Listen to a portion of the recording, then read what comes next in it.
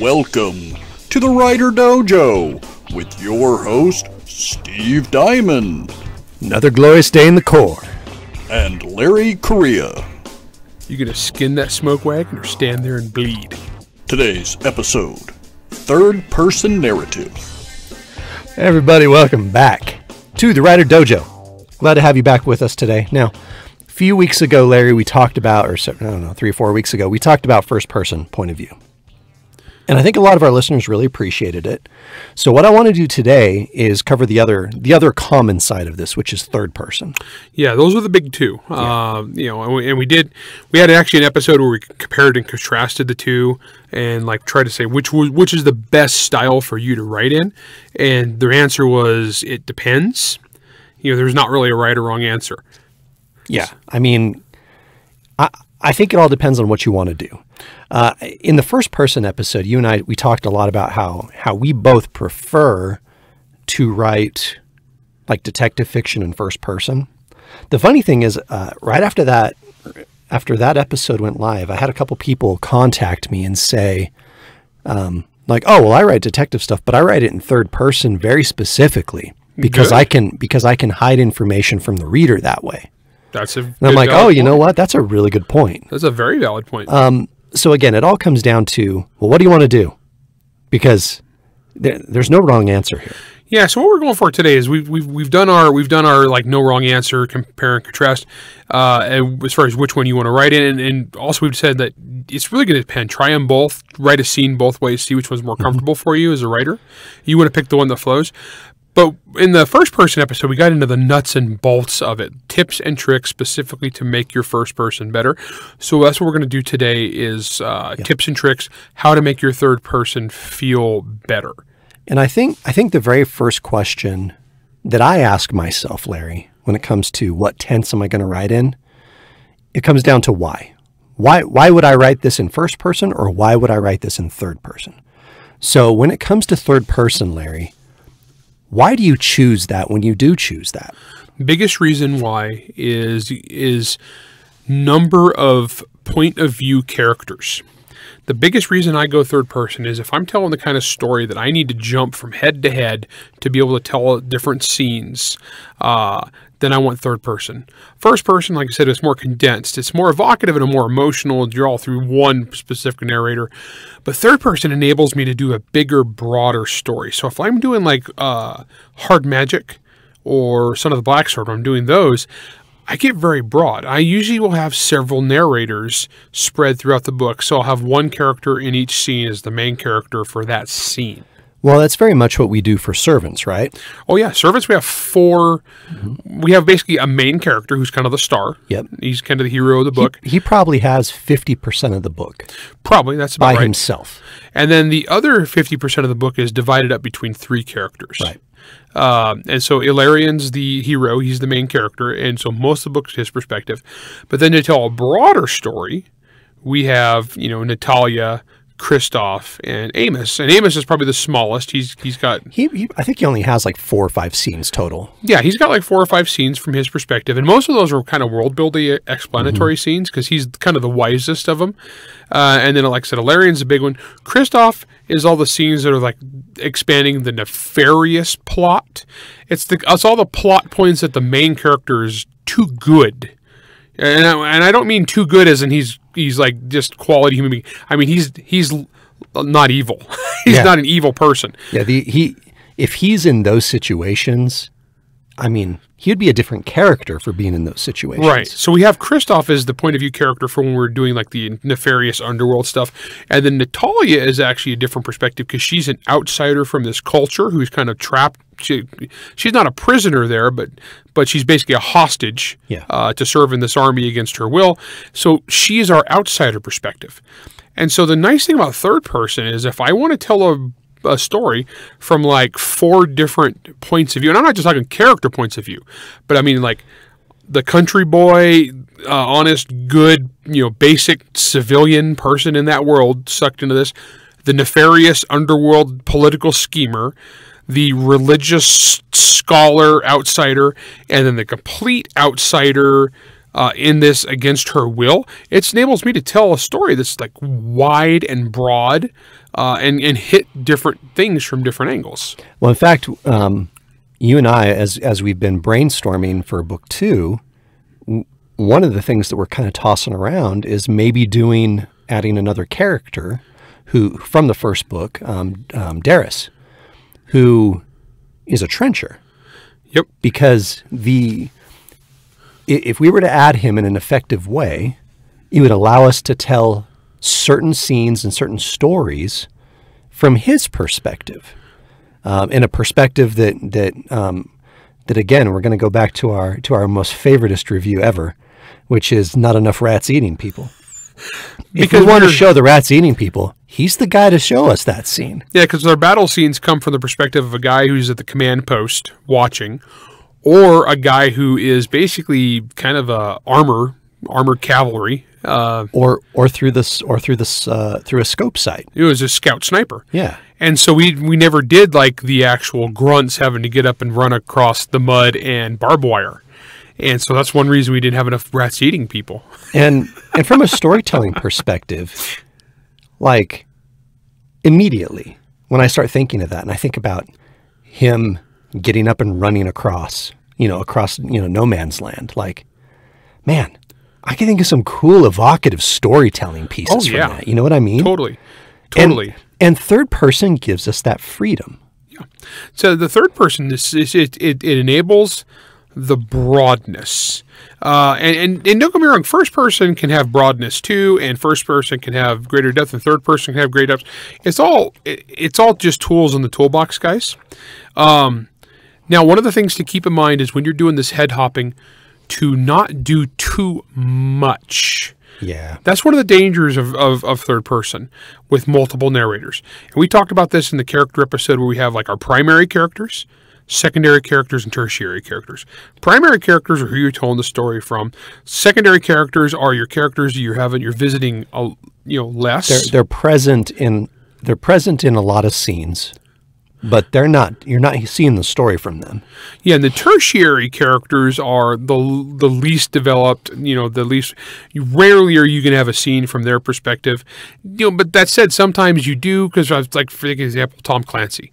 Like Tom Clancy was hopping from head to head, from scene to scene, to tell whatever part of the big global battle was the most interesting. So we'd have scenes from one person you'd never met before, just because they had the best view of the battle, and they and it could even be the guy sitting at a computer uh, watching satellite feeds is all of a sudden the the main character of that scene and the point of view character narrator.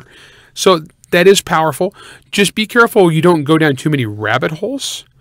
A lot of fantasy authors do that. I was going to say, I mean, this this sounds like George Martin in a nutshell, right? Yeah. Like, don't me wrong. Um, I- I think there are a number of characters and a number of scenes in his in his books that um, that work, and yet uh, I remember as I was reading through, and we would get to certain characters, and I'm just like, I don't.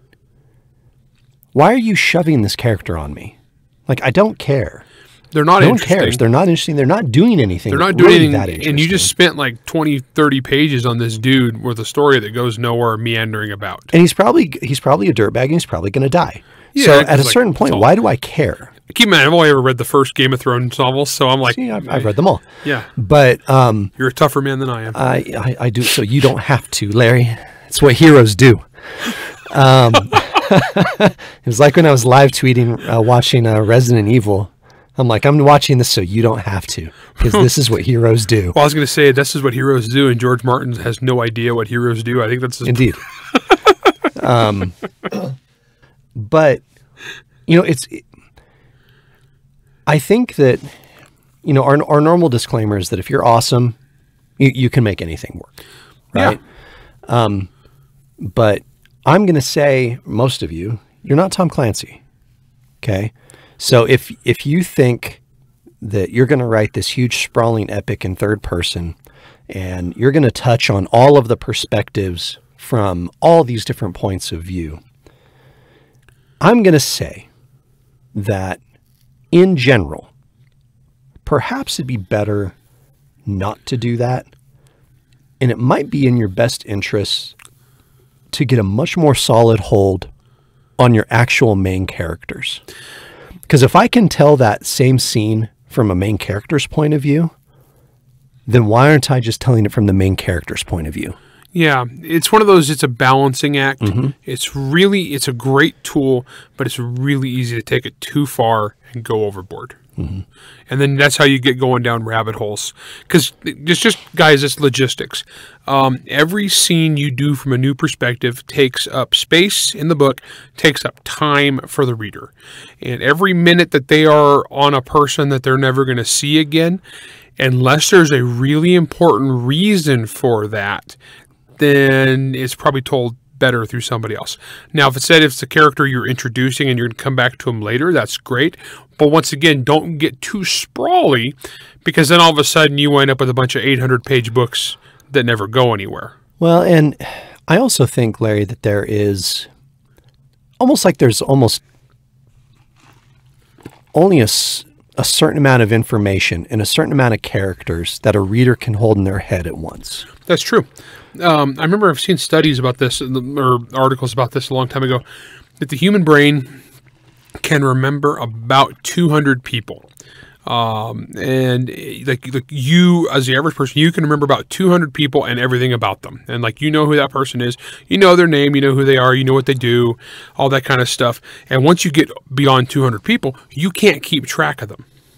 And that's also like like society wise. That's why tribal societies that are tiny can actually get along with very manage, very very minimal management or leadership because everybody knows each other. So you have a society where you all know each other's dirt, and so no one can ever be too nasty or horrible to each other because they all know each other and they're all inter- interconnected. But then you got people outside of that, and that's when you start needing management. Well, the problem with us writers, and that's why I always joke that I can't remember anybody's name. No offense, guys. I'm sorry. I really can't. There's thousands of you. I can't remember your names. We're accountants. Yeah, If you were an if you were a named spreadsheet, we'd probably be cool. yeah. If you had a number and a letter, we'd be good. But the problem is uh, for writers that those 200 spaces uh, of, of of character identity, those are all taken up by imaginary people. Yeah. So, like, I can't remember most of my neighbors' names or my the people in my ward. I don't remember. I don't know. I, I'm terrible. At that. It's a good thing I have my wife to manage this. But the reader is going to be the same way. When you're introducing a cast of characters, they're going to remember. Like we talked about character names uh, earlier, and they're going to remember names. They're going to remember factoids about people. They're going to put two and two together. But if you grow that cast too large, then it's going to be over their head. Now, one of the things that I do specifically in that I'm very cognizant of that I probably should have talked about in our in our character naming episode, when it comes to th- third person and first person, I don't have to worry about it because everything is told from one point of view, right? And to be clear, you can do that in third person too. You can just do the entire book third person, one entire point of view, and never stray. No, we yeah. see that we see that pretty frequently. Actually, Yeah, that's done quite a bit. um, in fact, I think uh, I think there's quite a few of the Harry Bosch novels that actually do this.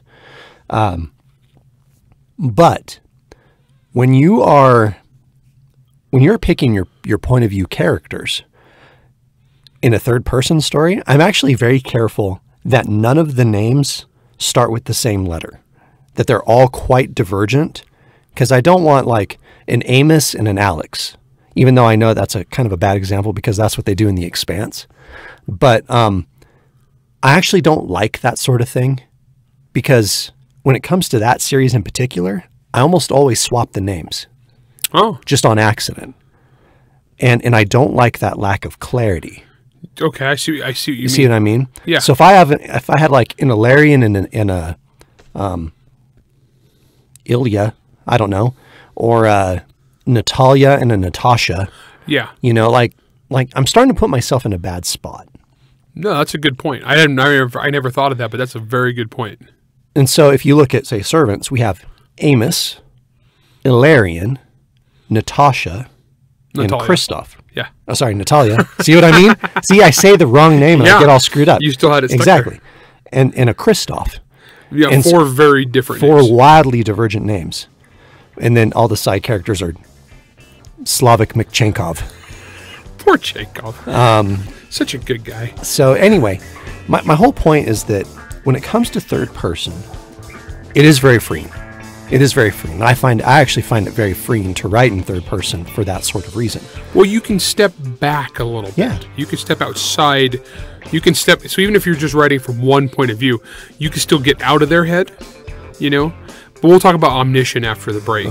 Yeah, because that's a that's a whole different danger. Yeah, I mean, there's getting there's getting directly out of the character's head, and then there's getting out of everyone's heads, and that's not something that that I like particularly. So, we're going to take a quick break. When we come back, we'll talk about the dangers of that, and we'll talk about some effective uses of third person that we've written and that we've seen, and we'll talk about some of the issues that we have had, some of the challenges I think that we've that we've encountered as we've been going through this. So, we'll be right back. The war between Almasia and the Empire of Kolokovia is in its hundredth year.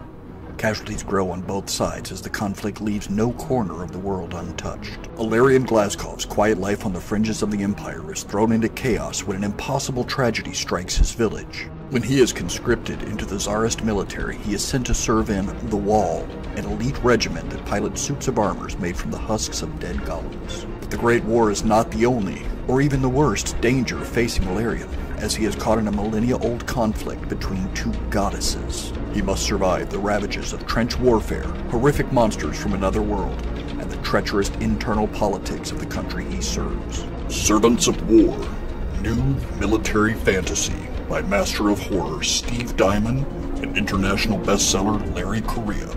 Available on Amazon or wherever fine books are sold. Pick up your copy today. Welcome back. All right, Larry. Before the break, we we briefly mentioned the whole idea of the omniscient narrator, and I think we both died inside. Yeah, because we both thought of examples immediately of the um, third person omniscient narrator. And, and this guy is, if you don't know what this means, it's like God is narrating the book. Yeah. It's like it's like the all-seeing, all-knowing narrator is telling you what's going on, and the the problem with that is it's so big and wide and all-encompassing that it's not how the human brain takes storytelling. It's pretty difficult.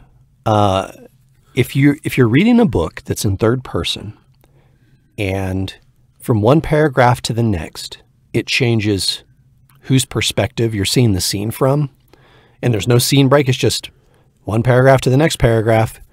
Um, that's omniscient. Now, sometimes that's totally unintentional by the author. They just have they just don't have a firm grasp on point of view, and so they'll make the mistake. Yeah, honestly, see that a lot. That's amateur hour, and that's the kind of thing slush readers look for. Oh yeah. It's like one of the most amateur things ever, and readers hate it. And it's almost impossible to pull off and make it. And keep in mind, beginning of the show, we told you guys there's no rules, just suggestions, and there are good writers who pull it off.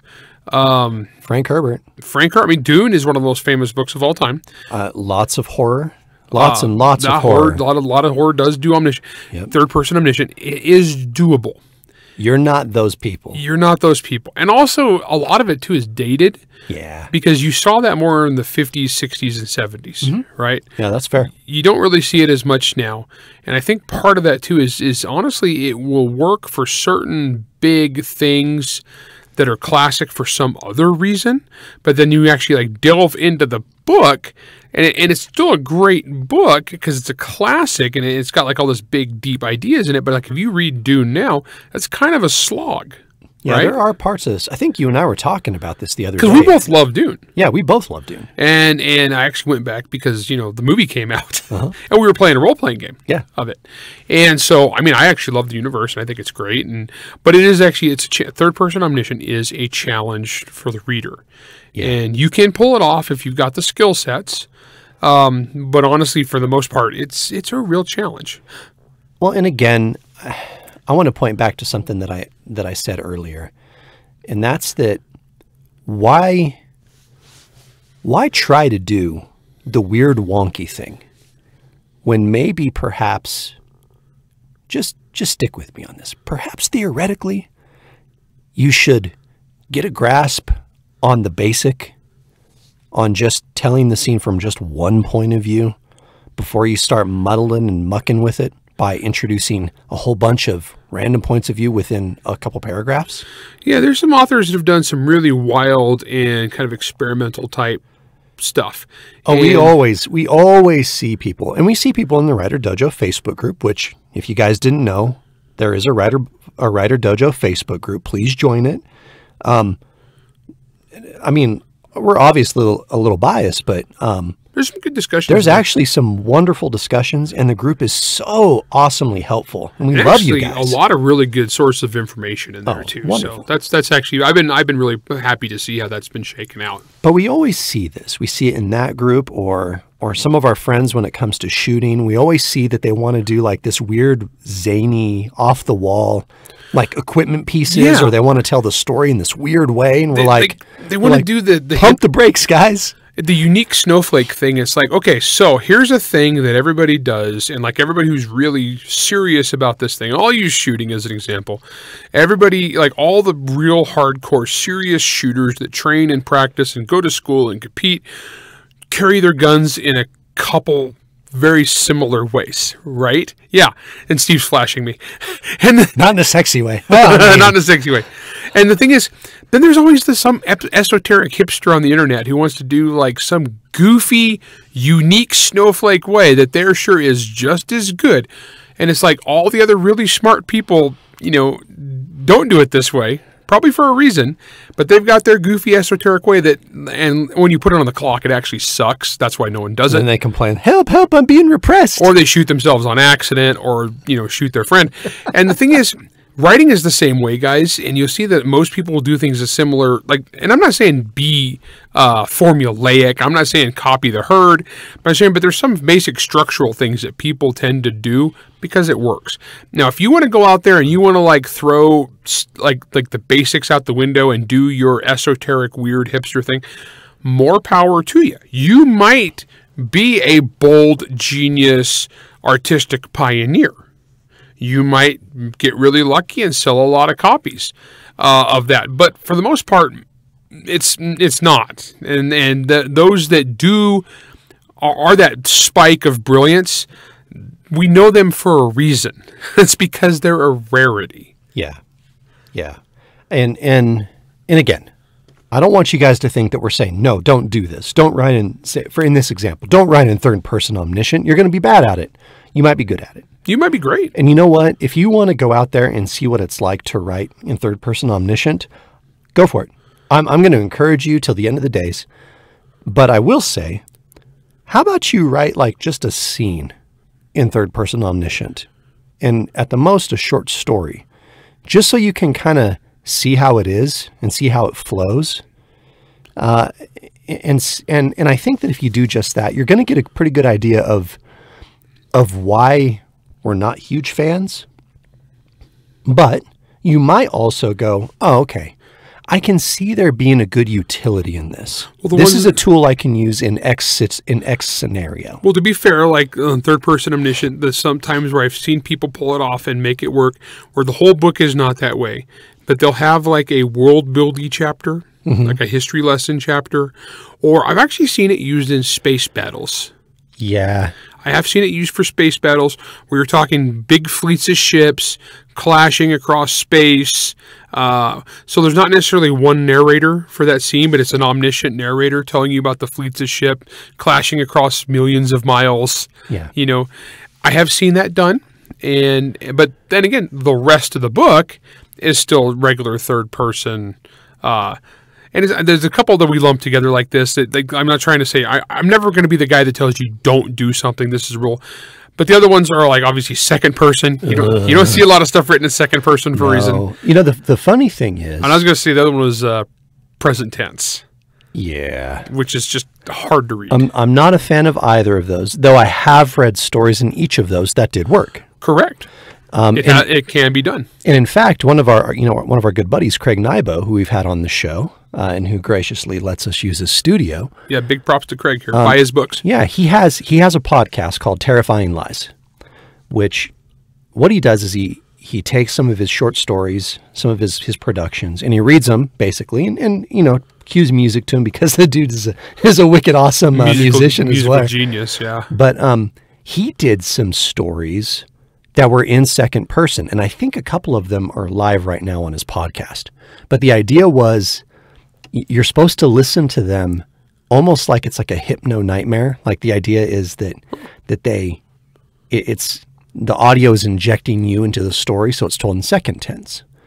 Now, in something like that, like I get it. Yeah. Like Uh, choose like, your own adventure. It's Yeah. choose your own adventure novel Again, it's book. a tool.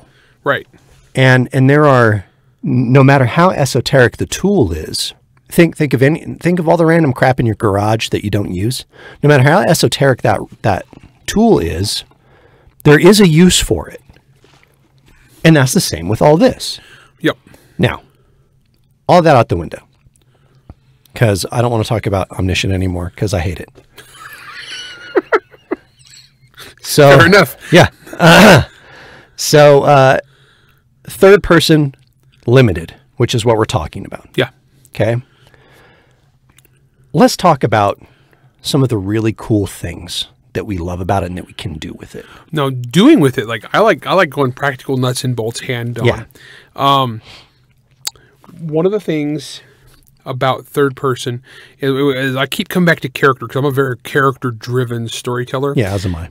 but it's really really cool to be able to get perspective don't forget perspective it's not just the character is the narrator but it's like perspective colors reality.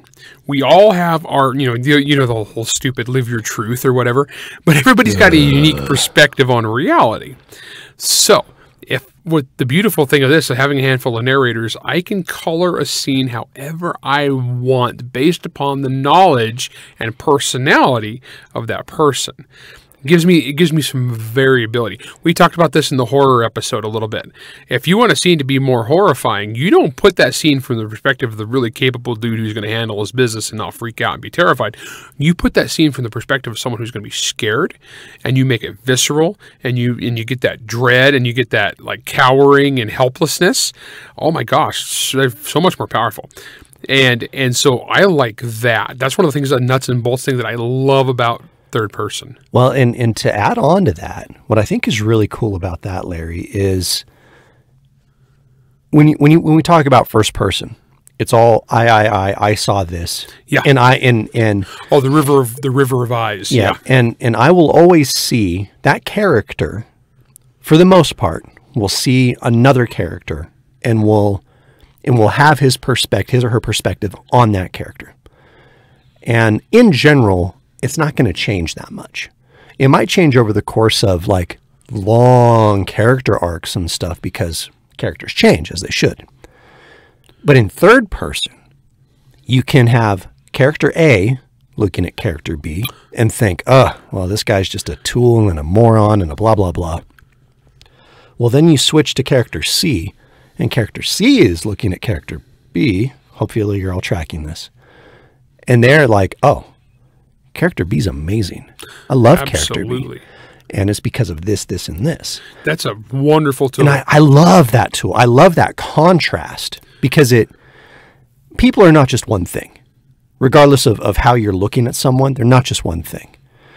Um and so being able to paint a picture of another character from different angles, I think it actually can give you a much more complete picture of who the characters are, which can help you really connect with those characters. Yeah, it's interesting you bring that up because I was thinking about for like when I'm writing Monster Hunter, uh, some every other book's first person, right? So I have the books from Owen Pitt's perspective as the main series of the books, and there's certain characters that Owen just hates. He just doesn't like them, and like Grant, like Owen hated Grant from the moment he met him, and will hate him forever. And yet a nemesis. And in Nemesis, we see him from an entirely different perspective. We see him through the eyes of other people. We see the world through his eyes. Oh, and I and I challenge readers. I challenge readers because I went through the exact same thing. Throughout the first four books, I'm like, ugh, Grant. This guy. We can just shove him down a manhole and call it a day. and yet in book five, we suddenly see him from these different perspectives. And, at, and by the end of book five, I was like, you know what?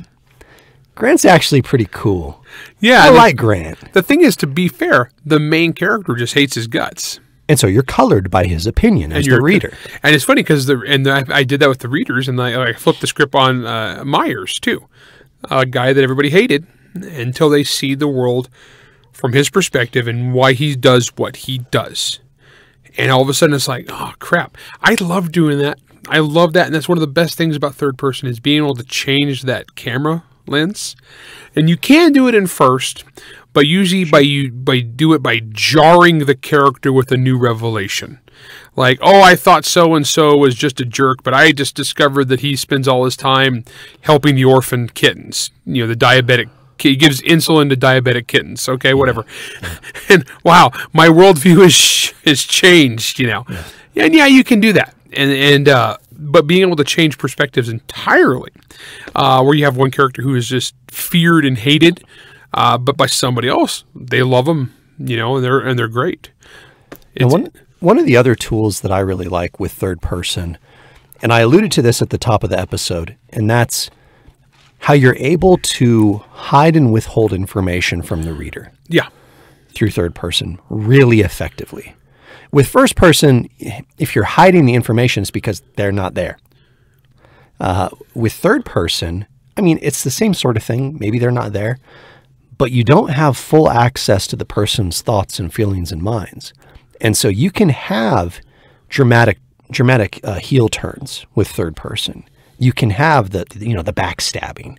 You can have people, you can have the characters be just as surprised by the revelation as the reader is.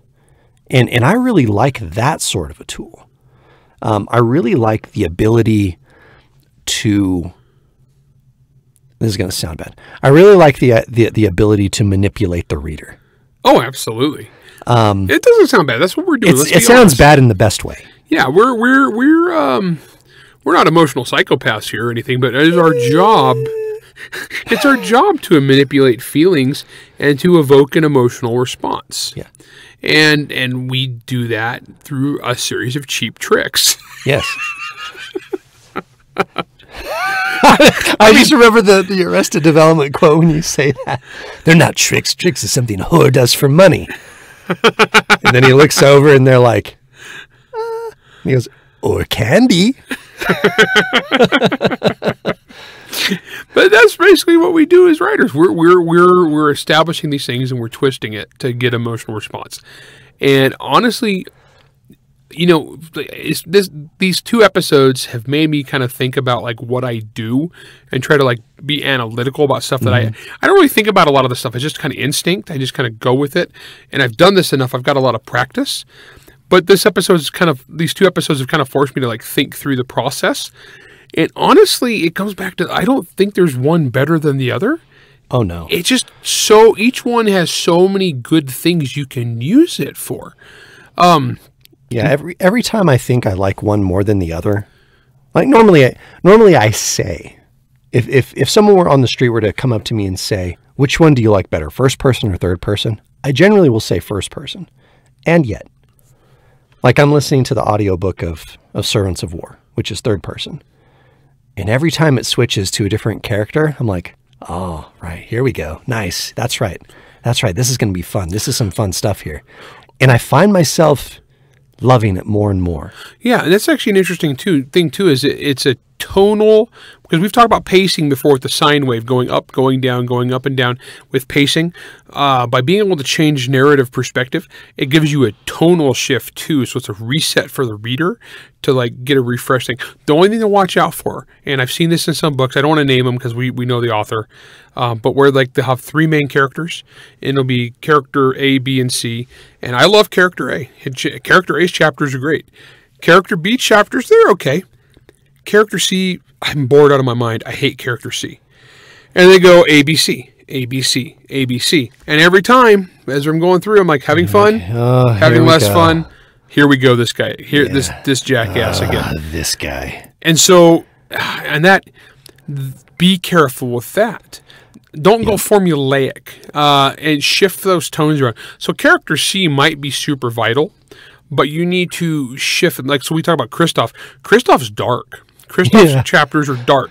Yeah, if we had the whole book from Christoph's point of view, I'd be the darkest it'd be thing very ever it'd be very depressing. because he's a, he's a secret policeman. like straight up, and he's good at his job, like like ruining people's lives and throwing them in the gulag. And Oh, then he likes it. Oh, I was, yeah. I was just listening to a chapter where he was saying where the character is talking about how he's he's running around this like this this like front, almost like frontier town that, that they're in, and he's saying that he he hasn't found any any like traitors or spies yet, but if but if he goes too much longer, he might just have to find one just to alleviate the boredom. you know, because because that's the character that he is. Yeah. No, see, we got to be careful because if we were to write an entire book from that guy's perspective, tonally it would be a very, very different book.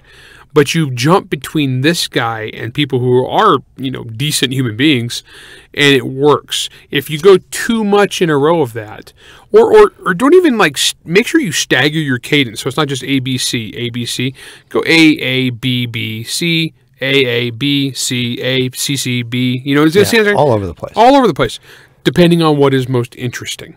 Now, one of the other things, and I think this goes along with what you're talking about, Larry, and that's um, when you're making these switches. I- I've read a, I've read some books like this that have caused me to to stop reading, and I'm not going to say which one this which one these are. I generally read every book from start to finish once I start it, but there's a few I've stopped. There's a few I wish I'd stopped. And Steve's read like twenty thousand. And I've read a lot of It's books. Like not even. I'm not even joking on that number. It's probably somewhere around that. Um, not as much these days, unfortunately.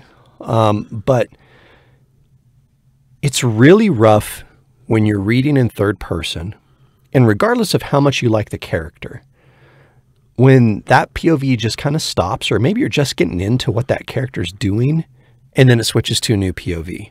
Like you never quite reach like a fulfilling end to that scene, and it just either either it drags on too long or it just stops way prematurely and then you're yanked out of that and thrown into someone else and it's like you're having to restart a story over and over and over yeah, again. that's one too, and I'm guilty of this because sometimes I'll I, I will try to spread stuff out sequentially when I'm doing my chapters, and I'll have chapters from different people's perspectives.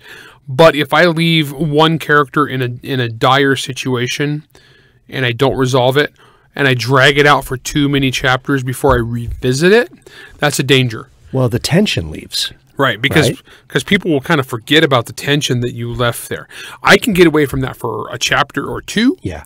but I can't get away from that for five or six because by then they go back and they've kind of like either they've been nagged by well, what happened with that, or they get annoyed that I haven't answered that question yet.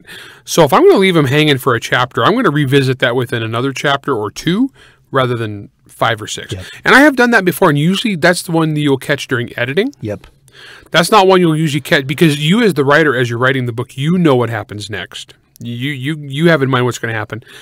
You so you don't have that narrative tension that the reader has. That's why when I'm get done reading a book, I take a week or two off, then I go back and I read it again. Now I got fresh eyes, like oh, That's Yeah. taken way too long. that's way too long. That's that, that, yeah, that's like a five chapter gap before I answer that question. I need to go answer that question sooner. All right.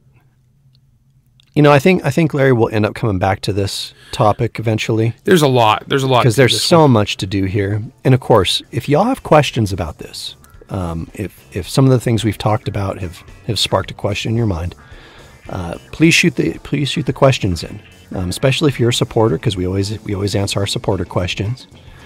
Please shoot those answers our, or those questions our way. We'll do our, our best to answer them. Sometimes either with a quick answer, or I mean, we've been known to to turn questions asked of us into complete topics before. So, as always, guys, we appreciate all of your support. Um, and again, remember, join the Facebook group, Writer Dojo. Uh, we have a lot of great people in there who are happy to answer a lot of these questions. We got a lot of actually really good experts in there, um, not just ourselves. And so, again, if you have any questions, go for that. You know, you can always ask them. But again, we'll come back to this again. We've got a lot to talk about, uh, and and we'll probably get some guests on who can who can give you some some other fresh perspectives, no pun intended, on this. So this is the Writer Dojo. Thanks again for joining us, and we'll see you on the next one. Writer Dojo is Steve Diamond and Larry Correia. Produced by Jack Wilder and Bear and Hair Studios. Theme song Word Mercenaries by Craig Nybo. New episodes come out every Wednesday wherever you stream your content. If you enjoyed this podcast, you can help support us by going to anchor.fm slash writerdojo, by leaving a five-star rating and review, and by helping to spread the word. To advertise on the Writer Dojo, email ads at writerdojo.com. All questions and comments can be emailed to questions at writerdojo.com. We're not emotional psychopaths here or anything, but it is our job